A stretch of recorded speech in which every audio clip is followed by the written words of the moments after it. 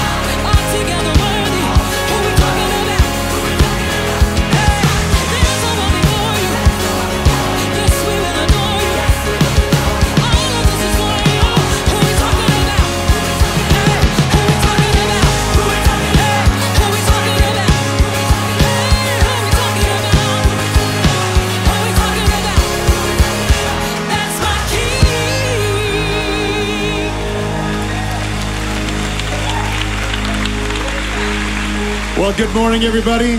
It's Saturday. Can you guys hear me this morning? Good morning. It's Saturday of the 21 days of prayer, day 14. Come on, one more time. This is the day that the Lord has made. I will rejoice and be glad in it. How many of you glad for that extra few hours of sleep this morning? Wasn't that good? So great to see you. Hello, everybody at home. Hopefully, you've made it out today. It's a beautiful day, but give somebody a high five around you and tell them they look good and we're going to get ready to pray.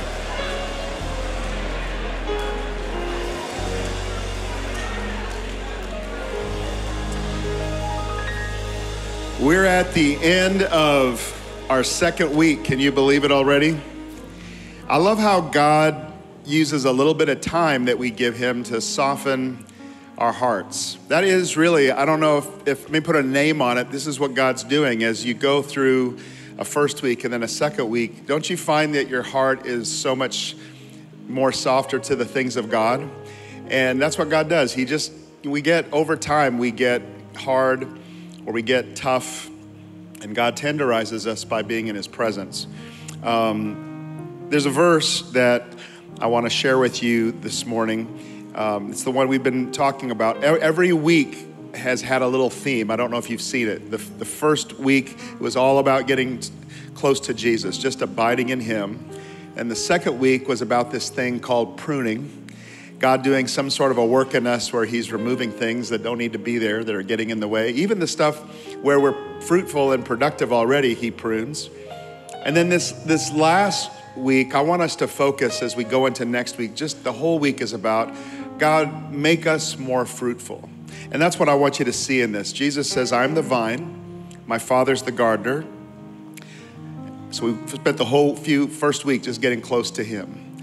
Every branch in me that doesn't bear fruit, He takes away. Every branch that bears fruit, He prunes that it may bear more fruit. And stop there. Notice that that is the point. The whole point is God is wants more fruitfulness out of our lives. He who abides in me and I in him will bear much fruit. That is the goal, that you become really productive for God, that your life produces something, that, that your life grows and expands. Then he says, Apart from me, you can do nothing. But I want you to catch that the purpose of our lives is to bear fruit. And over and over, you will find Jesus teaching this that we know we belong to God, we know that we're His, and from that knowledge, our life should produce fruit. And that's, that's what I want to talk about today the purpose of fruitfulness of our lives. Back when I was teaching about um, the good ground a couple years ago, just getting us ready for this whole journey of growth, there was a, something Jesus said. It says, The seed that fell on good ground sprang up and yielded a crop a hundredfold. That's what I'm talking about fruitfulness, that your life has a hundred times the return on investment. Like whatever you gave to God, He blessed you a hundredfold. And that's, that, that's incredible to think. Stop and think that what would happen if God would take your life and increase the productivity or increase the fruitfulness of your life by 100%? What if, or a hundred times, what if, what if that happened for all of us? What would happen to the productivity of the people of God if every one of us became that fruitful that God would multiply us? So I want us to think a little bit bigger today, and I want to talk about how to pray for fruitfulness. How do we, how do we pray for, another word for this is the blessing of God that we could be that fruitful? And so I want you to go to your prayer books. We have these little uh, orange Pray First books. If you don't have one, pick one up today because that is a guide for prayer. All through that book are just scriptures that have been organized into prayers that you can pray. When you pray God's word, that's what it that's when your prayers have power.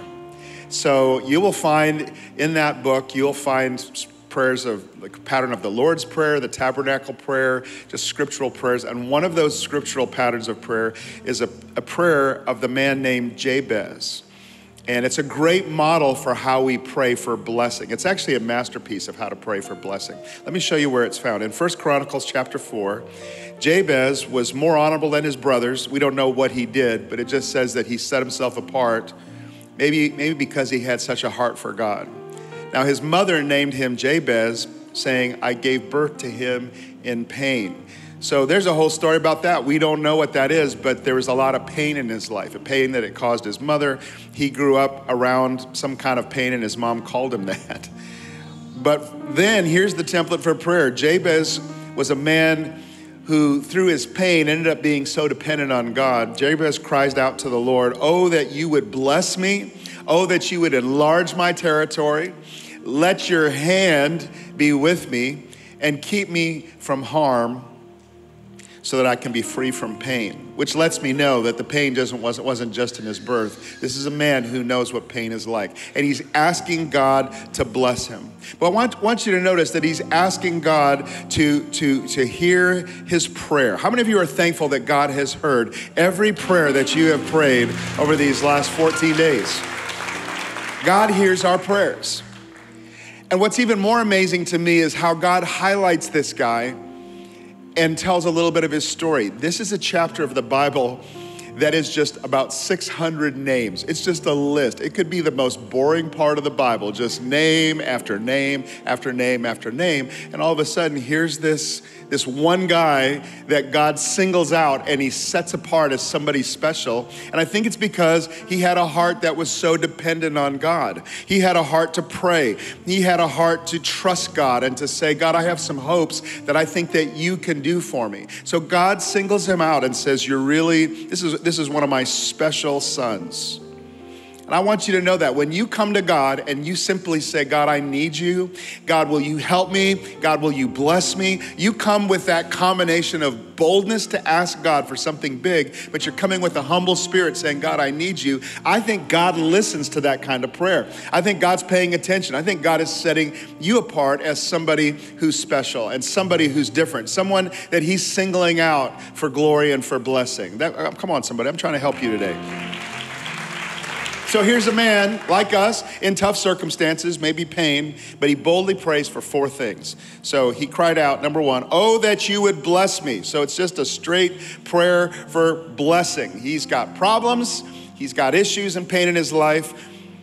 But I want to encourage somebody right now. Some people think that you have to be perfect for God to bless you. Like the only way that God would bless me if I got everything in my life right. And Jabez tell, shows us you don't have to be perfect. You can have pain in your life, you can have problems in your life, you can have issues. The only thing you need to realize is God, I need you. God, I, I, have, I need your help. And what is blessing? Blessing is simply saying, God, there are some things that I cannot do by myself. Or, in other words, I can only go so far, but will you accelerate me? Will you do more through me than I could ever possibly do by myself? Or in other words, I don't have what it takes. What if God what if God all he really wants is for you to boldly come and ask him the desires of your heart and humbly admit like so God I don't have what it takes but I need you to bless me. I want you to know God is not looking for you to be perfect for him to bless you. That is a lie. Let me give you an example. Abraham was an idol worshiper. He didn't have a Bible. He didn't know the God of Israel. He was a guy who lived in a foreign country, didn't know God, but God in his mercy revealed himself somehow to this guy. And all he said to him, the only thing God says was, I want you to pick up your stuff, pack up your stuff, take your wife, everything you got, and I want you to move over there. Go there, and when you get there, I know you have I know you're old and 100 years old and you, you have no ability to have children, but if you go, I will bless you and I'll make you the father of a nation. He had done nothing to earn God's credit or favor. He's an, again, he is not, he's an idol worshiper. So that means he doesn't know everything. He doesn't, he doesn't understand. And this is way before any scripture's written. So he doesn't have the Bible memorized. He's just a guy who, who is willing to do this. God, if you speak to me, I'll do what you say. Come on, somebody. That's all God's looking for is God who's, do you have a heart that says, God, I need you? So this guy, Abraham, was searching after God somehow, and God says, I will bless you. Watch what he says. God blessed Abraham I will bless you, watch this, and you will be a blessing to others. That is the vision for all of God's children. God wants to bless you so that you will be a blessing for others. And how did God bless him? God blessed him, it said, like the sky, like the stars in the sky, like the sand on the seashores. Or, in other words, hundreds of times more than what he could ask or imagine. Just blessing upon blessing. And you may say, well, that's just for Abraham. Well, can I show you something out of the New Testament? Galatians chapter 3, look what it says. All who put their faith in Christ share the same blessing Abraham received because of his faith. Why don't you ask God to bless you? God bless me like that. I know I don't have to be perfect, just bless me. So, according to the word of God, you can pray the will of God. God bless me a hundredfold. God bless me with, with more than I need. Why? So that I can be a blessing to others. So when you sit here today, let me encourage you. You've spent a lot of time, maybe 14 days of 21 days of prayer, thinking about your shortcomings or thinking about what God needs to take out of your life or thinking about problems and pain and focusing a lot on that.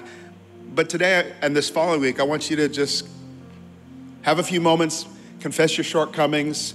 God knows He's pleased you're here Just thank God that He's already given you His grace, no condemnation, and then get up and then start praying for blessings. Start going after tomorrow. Start going after what God has for your future. All right? You're not a disappointment to God. You can't disappoint an all knowing God. He knows, He already knows. So just say, God, thank you for your grace. Thank you for hearing me today. I praise you in my pain. Now, Lord, I'm asking you to bless me. Do you guys get this? Because I, I need more. I need more ideas. I need more wisdom. I need more creativity. I need more resources. I need more ability. God, if I'm going to be a blessing to others, I just need more. So, God, bless me. And it's okay to pray that. And then he says, Oh, that you would bless me and enlarge my territory. What he's praying for is influence. God, help me to have more of an impact, like on, on places that aren't currently in my, in my sphere of influence.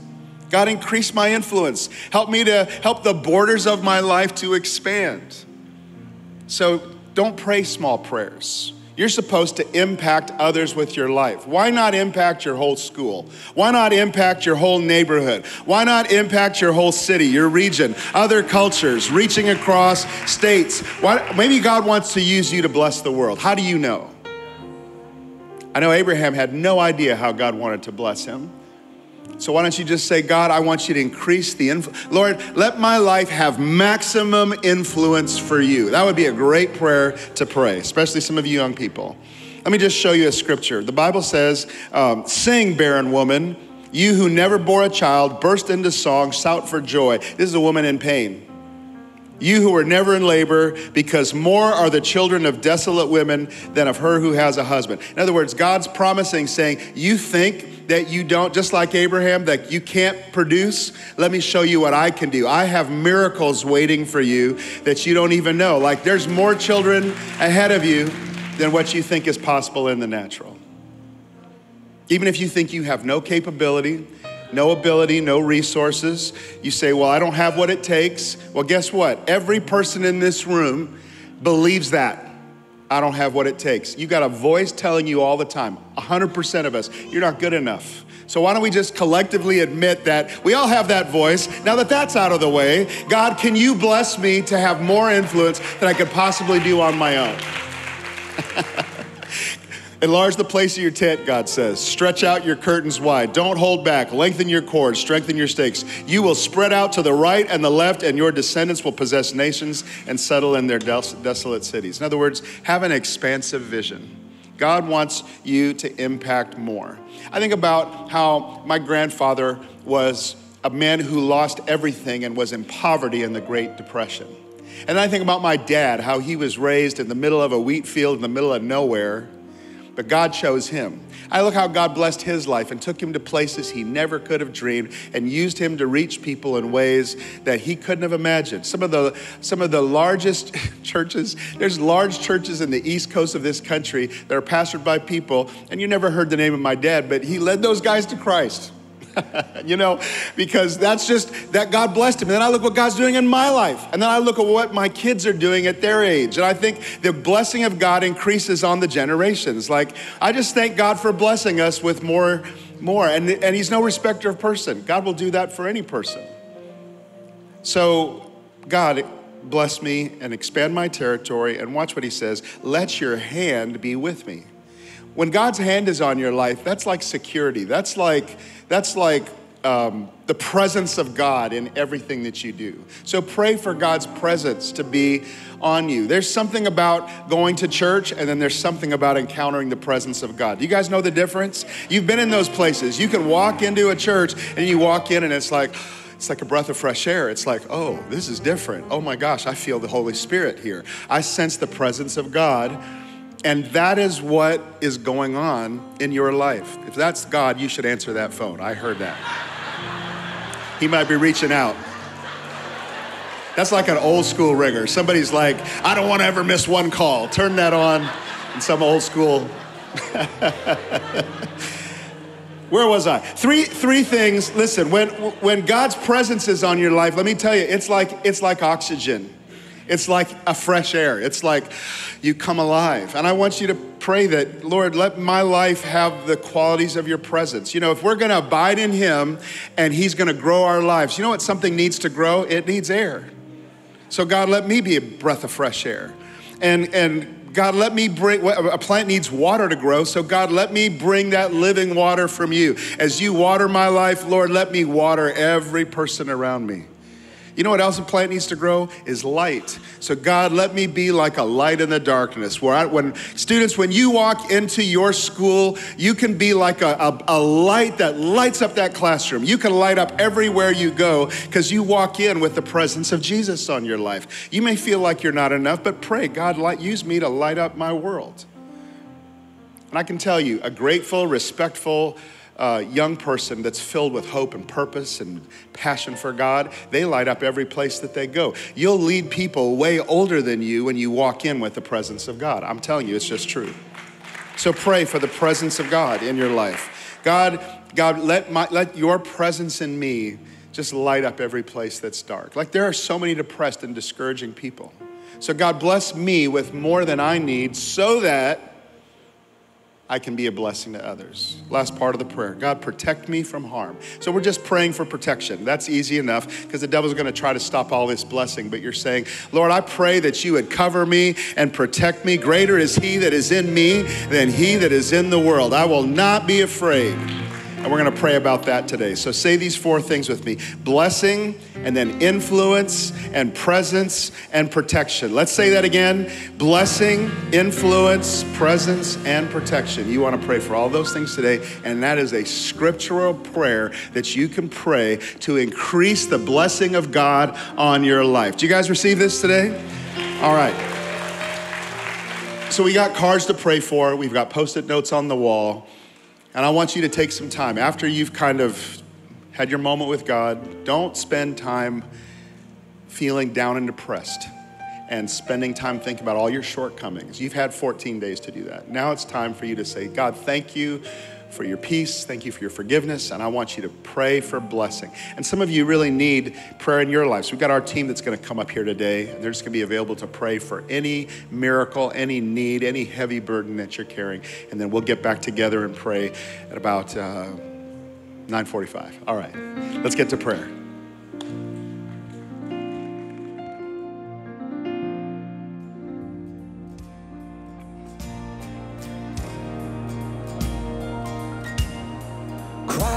Is my firm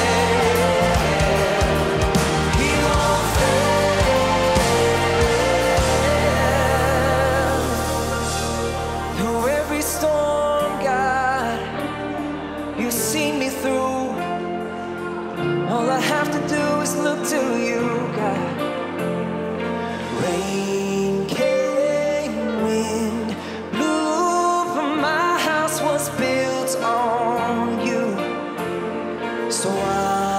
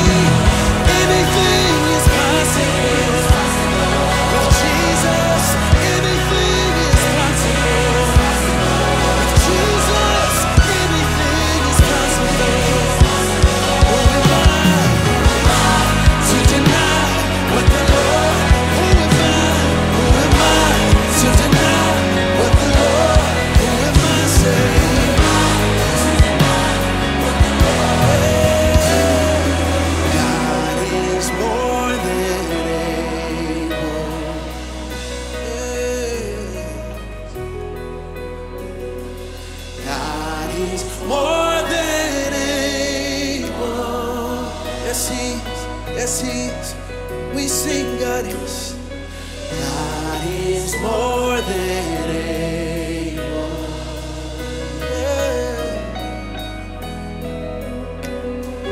God is more than able. Who am I to deny what the Lord can do? God is more. God is more than able. Come on, do you believe that in your heart today?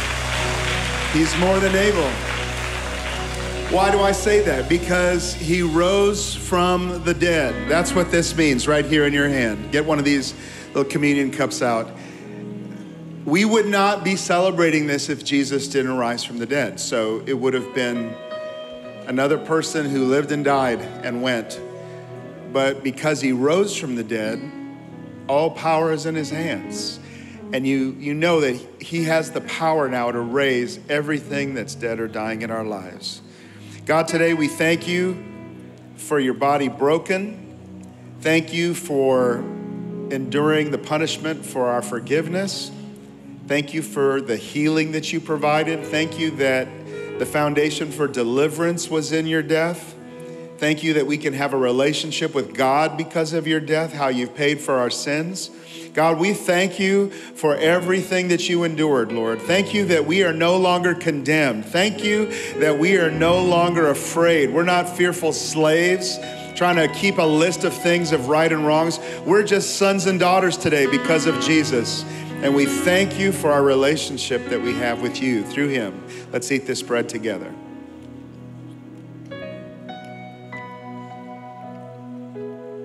Thank you, Jesus, that you rose from the dead.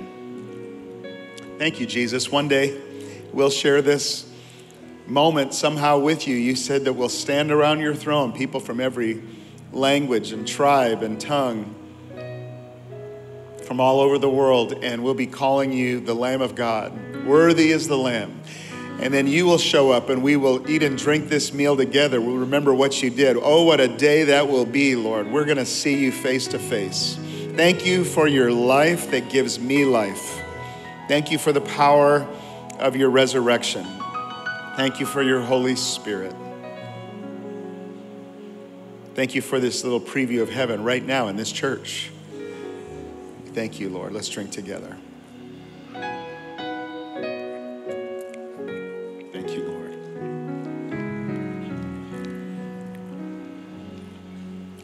I believe that that God is really pleased by all of you being here. I mean young and old, the generations together. This is this is what community and faith and church is supposed to look like. I want to do something different today. I wanted to bring my mom and dad to come up on either side. I wouldn't be here, and none of us would be here if it weren't for them. And I'm going to ask them to lead us in prayer today. And I want you to just realize, like, how God works. We, we just think that we just think about our own little life, but God works through the generations. What God is doing in your life is going to bless people in the future going to bless children, going to bless grandchildren. Things that your parents, if they believed in Jesus, that they carried, has, has brought blessing into your life that you've received. Come on, let's just give God thank, thanks for blessing that comes through generations.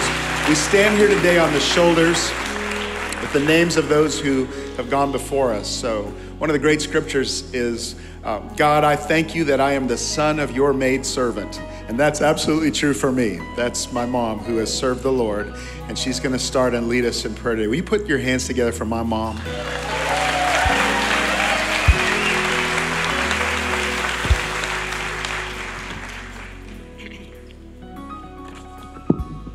Let's pray. Heavenly Father, we love you today.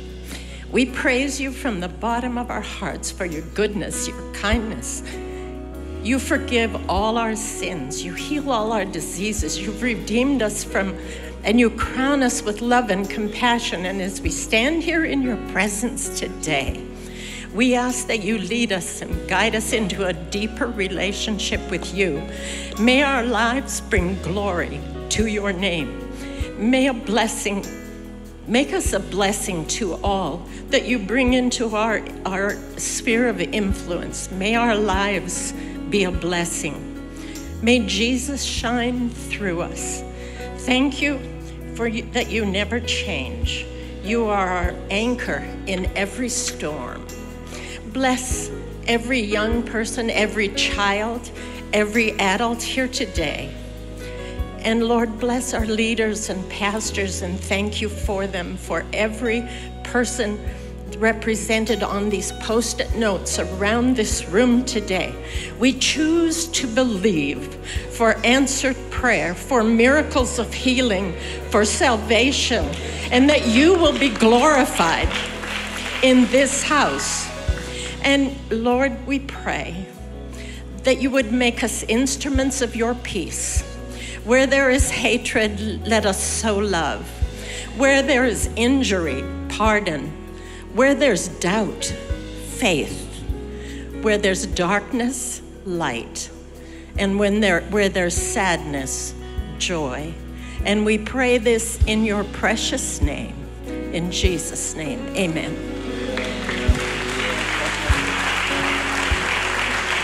Hallelujah. Yes. Praise my dad, everybody. Oh, You think you can make it through this without crying? Uh, I doubt it. I love my dad's soft heart. It's where I get it from. Well, I, I'm so thrilled to be able to pray for the young people of this church today.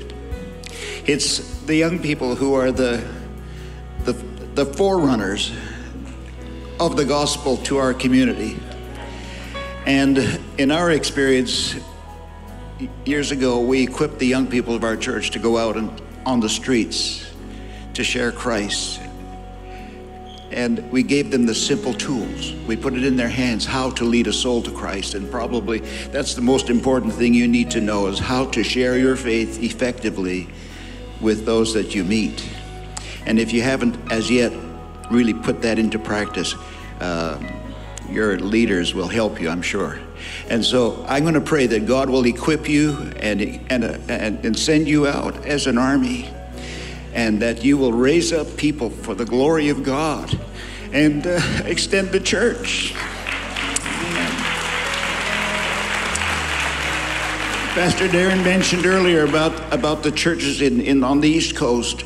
There's a church in Brooklyn, in Queens, in Newark, in Miami, and Atlanta, where thousands of people meet every week, only because we sent them out early as young people to tear the gospel. And they came over to the States uh, years later to educate their children. But God has used them mightily, and so God is going to use you mightily. And I want to pray for you today, right now, in Jesus' name. Just raise your hand toward God. Gracious Heavenly Father, we are grateful that the teens and young adults of Heartland Church family have a glorious purpose to love God with all their hearts and to put Jesus Christ first in their lives. Because of their love for you, they are seated in heavenly realms and united with you. They are committed to being more like you. Their old lives are gone and a new life has begun. Lord, it is your will that they are joyful always, ceaseless in prayer, and thankful in all circumstances. In Jesus' name, we declare that they are free from the power of sin Yes. and have Yes. become sons and daughters of That's Christ. God. They do only things, those things that lead to holiness and result in becoming more like Christ. We declare that wisdom will fill their hearts with joy and peace. Holy Spirit, help our dear young people to strip off every weight that slows them down, especially the sins that so easily trip them up. It is essential to teach them to run with endurance in the race God has set before them. Search them, O God, and know their hearts. Test them and know their anxious thoughts. Point out anything in them that offends you and lead them along the path to everlasting life. Help them trust to trust the Lord daily with all their hearts, not leaning on their own understanding, but putting their trust in you.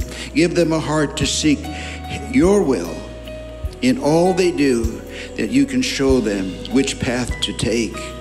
Show them how to make divine connections with others who will hold them accountable and help keep them focused. And may nothing deter them from pressing forward or toward the heavenly prize for which God, through Christ, has, is calling them. Lord, show them the place and position that you have ordained for them in your kingdom. Help us as a church family all of us as adults and elderly folk to embrace them and empower our young people to stand firm in their faith in the kingdom. In Jesus' name we pray. Amen. And amen, amen, amen, amen.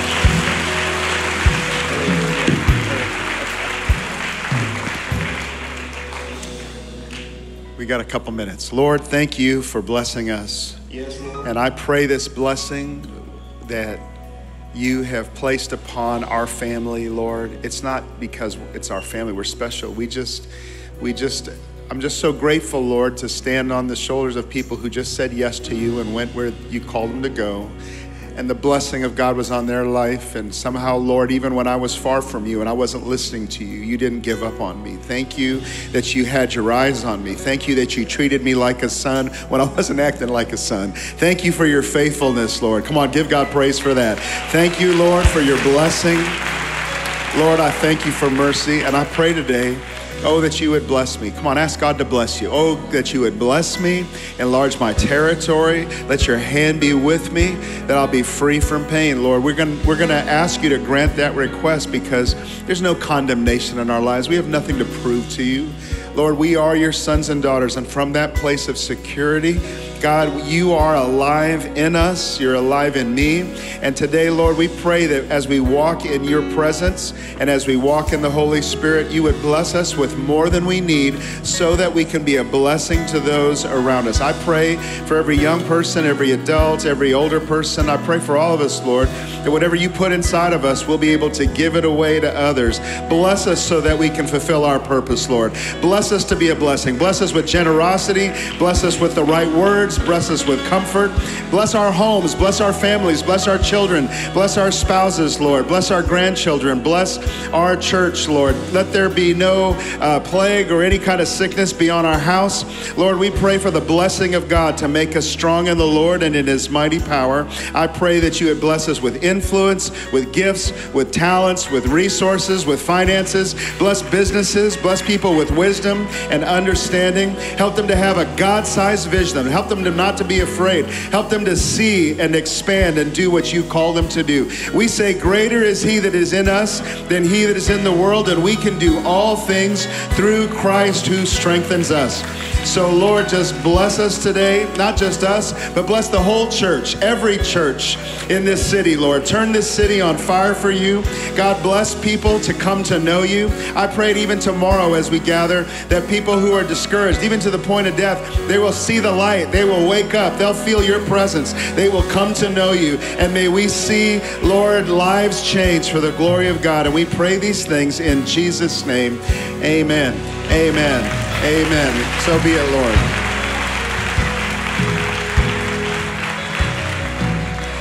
Last, last thing. The greatest blessing in my life is my beautiful wife, Laurie, and it is her birthday today. Happy birthday. I love you. You know, I don't know how old she is? I ain't to tell you. you ask her, she'll tell you. All right, you guys go have an amazing Saturday. I love you guys so much. Thanks for praying. We'll see you tomorrow. All of our services. Can't wait. God bless you.